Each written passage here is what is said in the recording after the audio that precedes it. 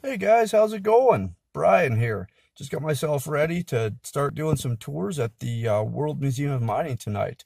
We're going to be running those tours tonight from about 5.30 till 8, 8.30 at the World Museum of Mining located in Butte, Montana. Our address is going to be 155 Museum Way. You can get online to miningmuseum.org or you can come and get your tickets right there at the door. Um, it's going to be a great time if you're into underground mines and haunted houses, no better place to be than right there at the World Museum of Mining tonight.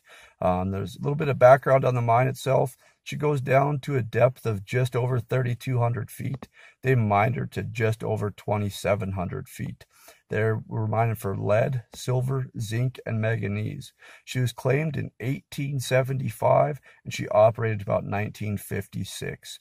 So again, if you're into underground mines and haunted houses, come see us at the World Museum of Mining tonight, Friday, October 28th from 5.30 till about 8, 8.30.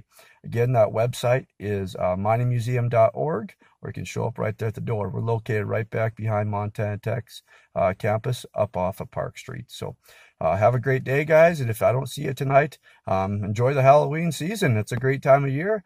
I look forward to seeing all those goblins and ghouls and all kinds of creatures. It's a great time.